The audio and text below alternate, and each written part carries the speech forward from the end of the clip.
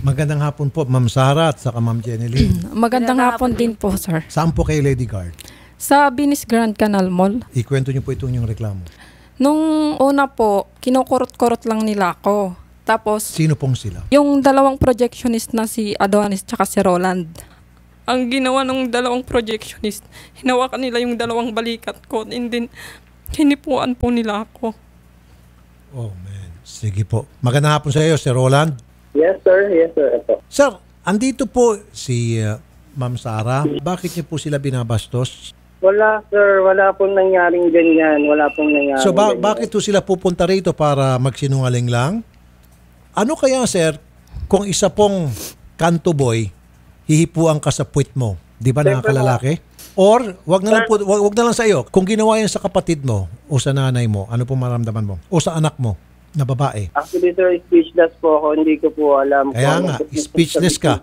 Kasi ayaw mo mangyari yan sa kapatid mo babae o sa nanay mo o sa anak mong babae, di ba? Oo, sir. Hindi ko po expect na ganyan. Et, ito, ito, mag- mag-usap kayong dalawa. Bakit dinidinay mo? Kung mababa kayo galing sa projections area, kukuha kayo ng tubig sa loob ng admin. Ano ginagawa nyo sa akin, di ba?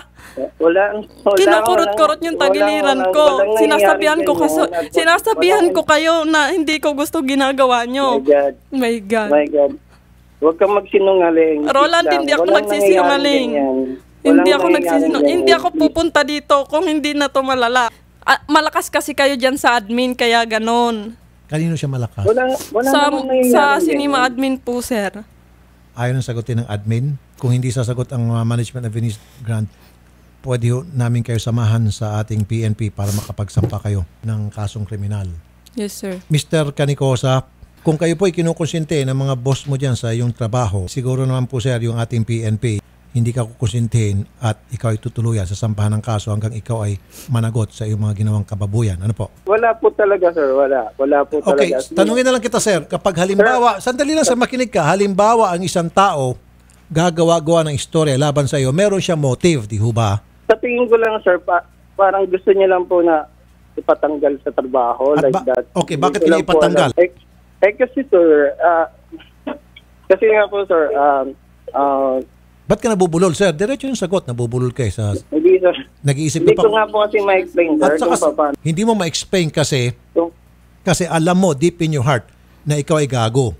Pasalamat ka nga, hindi ka niya binaril. May baril ka ba? As Wala po kasing baril doon sa cinema, sir. Bawal po kasi yung Kung may baril ka, baril mo na sana ito. Kung po pwede nga lang, sir, eh, kung hindi nga lang kasalanan pumatay, nakapatay na po ako ng tao. Narinig mo yon Roland? Hindi, sir. Hindi po ganun. Hindi mo kasi ko nga masagot eh. Yung tanong ko simple lang eh, di ba? Pa paligoy-ligoy ka pat, nabubulol-bulol ka, hindi mo kayang sagutin ng diretso yung tanong ko. Sir, parang naiingit lang po. Parang gano'n. Inggit. Okay, bakit siya maingit sa'yo? Sir, Magkay, kasi ma- parang- sandali lang, magkaibang pwesto nyo, di ba? Ikaw ay projectionist, siya ay SG. Maliban siguro kung pareho kayong projectionist at pwede kayo mag-agawan sa promotion. Hindi ko nga po alam, sir, kung ano ano, kung ano po yung... So wala talaga siyang reason para ikaw ay pag-initan. Yan ang ibig mong sabihin, tama? Yes, sir. Parang, parang ganun po, sir. Oh. Wala po talaga. O then, huli ka na. Wala talaga siyang dahilan para ikaw ay gagawa-gawa ng istorya. Alam mo sir, advice ko lamang, kung ikaw ay kinukonsinti ng Venice Grand Taguig, then fine, wala kami magagawa dyan. Pero ikaw ay papanagutin namin sa pamagitan ng ating PNP. Pero piece of advice, sir, ingat ka lang sir ha, kasi darating ang time na ikaw ay magkakaroon ng katapat. At kapag dumating yung time na yan, na yung katapat mo, bubugbugin ka, baka hindi lang bugbog saradong aabutin mo, eh baka mapatay ka pa. Kasi sobrang foul yung ginagawa mo, sir. Sir, gawin mo yan sa ibang tao na mas barumbado pa sa iyo, eh may kalalagyan ka. Itigil mo na yung ginagawa mong pambabastos sa mga kasama mo sa trabaho. Sandila mo, sir, makinig ka, sir, ha, para malaman mo hindi kami nagbibiro. Captain Sherry Deseo, Women's and Children's Desk, Tagig PNP. Magandang hapon po, Ma'am uh, Sherry. Oh, magandang hapon po, sir. Eh, kami po ay pupunta lamang sa inyo para po ay makakuha naman ng hustisya itong SG natin. Oo, ganito po, sir. Uh, pupunta lang po dito yung biktima at para makuha po namin yung detalye at maimbestigahan ng pangyayari para sampahan natin siya ng karampatang kaso. Okay. Ano So- pong ano pong mga kaso halimbawa, ma'am? Ah, pwede natin siya ipasok sa act of lasciviousness. Acts of lasciviousness. Okay. Yes, sir. Yes, sir. Sasamahan po namin diyan sa inyong tanggapan, ah, Ma'am Shari ha. Sa, salamat Opo, po, Ma'am. Shari. Mr. Okay po, sir. ah, Canicosa, bigyan kita ng pagkakataon. Baka gusto mo humingi ng sorry at kapag pinatawad ka, okay. Pag hindi ka pinatawad, tuloy ang kaso. Sige, sir. Kakausapin ko na lang Sige, po. usap kayo. Hello, Sarah. Ayusin na lang natin to. Paano nga maayos? Kung gusto mo mapaalis na lang ako dito, hindi gagawin ko. Hindi enough yun. Sana hindi niyo ako binastos. Pati pagkatao ko binastos niyo. Ngayon, ang tingin sa akin ng mga tao dyan sa sinima, kalandaring babae. Eh kung naging kalandaring babae ako, di sana nagpukpok na lang ako, di ba? Marangal na trabaho ang pinasok ko. Kasi dati ang gusto ko lang kasi mangyari, tanggalin na lang kayo. Pero ano nangyari? Nagpa-petition pa kayo na ako ang tatanggalin sa sinima. Oh. Sinong nawalan? Ako, di ba? So, Roland, mukhang ayaw makipag-ayos ni Ma'am Sara. Sobrang sakit ang kanyang naramdaman. Talagang niyurak-yurakan mo yung kanyang pagkababae at kanyang pagkatao. So, sasamahan na lang po namin sa PNP ito. Sige, salamat na lang, sir. Sige, ma'am. Po, Sasamahan sir. namin kayo sa PNP bukas na bukas. Okay? Okay po. Sige, thank you po.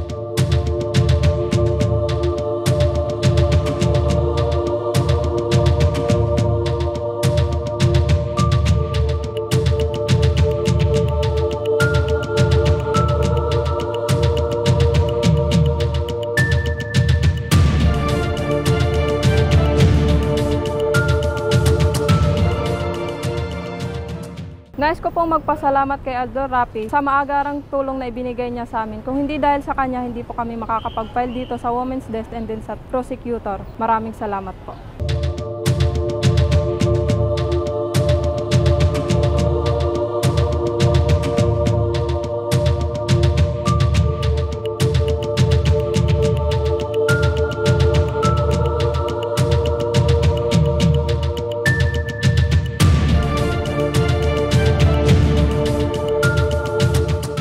Lady Guard, Mhm. si ah, Lorena Montenegro para reklamo yung commander dahil sa pagiging manyakis o mano nito. SG Lorena, magandang hapon po, ma'am. Good afternoon po.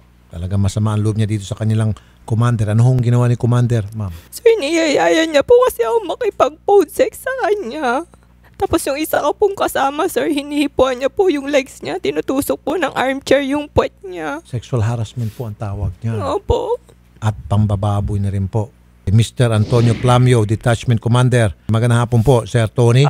Y- yes, sir. Magandang hapon po. Bakit naman po ganun? na gusto niyo raw makipag-phone sex siya Yun sa inyo? po, sir, yung ano sa akin. Ano Kasi, kasi po yung kapalitan niyang lady guard, matagal na po silang alitan noon. Sir, a- anong kinalaman niyan doon sa kanyang sumbong na niyayaya niyo siyang makipag-phone sex sa kanya? Kasi nung abente po, yun nga po, nasigawan So sagutin niyo lang po kung yes or no, kung totoo po yung allegation. Wala po, sir. Saan ang galing po itong sinasabi niyang niyayaya niyo siya makipag-phone sex? hindi ko, sir, nga rin po alam eh. Okay, Nagulat lang po. nga lang din po ako. Okay, excuse me sir. ah. Kailan po kayo niyaya ng inyong commander?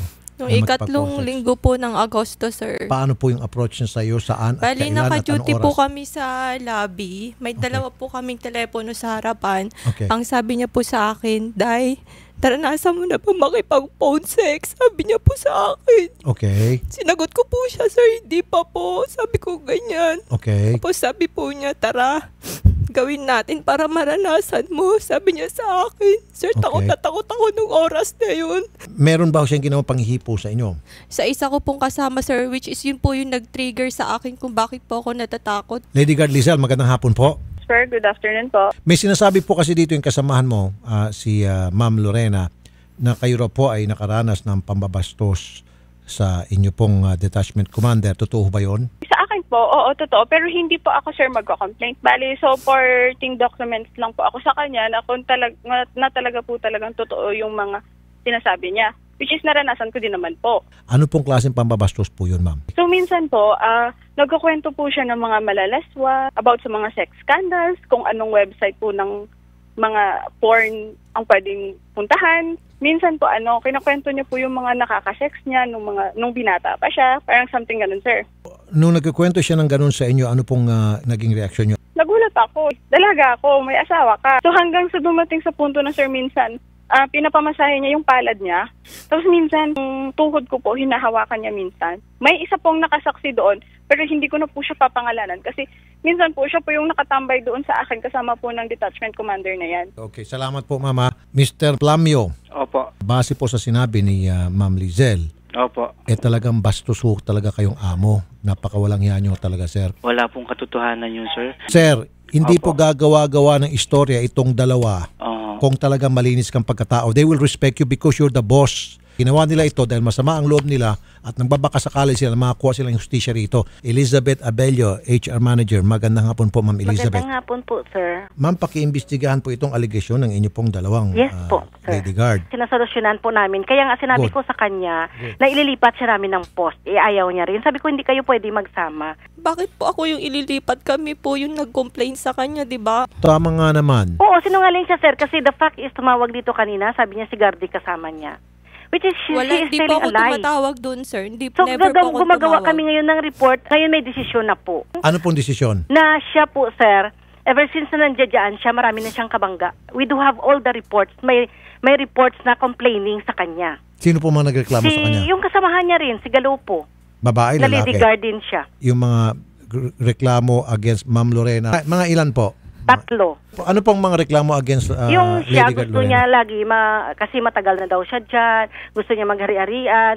Eh, yung parang ganun, sir, na before hindi kami nag, ah, ano, sa kanya. Pero sa case na parang lagi na lang siya nai-involve, sabi ko, ikaw siguro ang may diferensya kasi lagi ka lang nai-involve sa kasama mo. May kaalitan siya lagi dyan. Ah, okay. Oo, Alright. so parang ganun. Ah, Ma'am ah, Lorena, Yes. since meron din palang reklamo against you, ah, ayoko na po muna makialam. Basta ang request ko na lang dito sa HR ninyo, imbestigahan yung reklamo against Mr. Plamio, reklamo na sinasabi mong niyaya kanya sa phone sex at itong si reklamo ni LG Lizel na siya yung nanghipo. Tama ako, Ma'am Elizabeth? Yes po, sir. Imbestigahan niyo po yung Yes, sir. allegation against Mr. Plamio.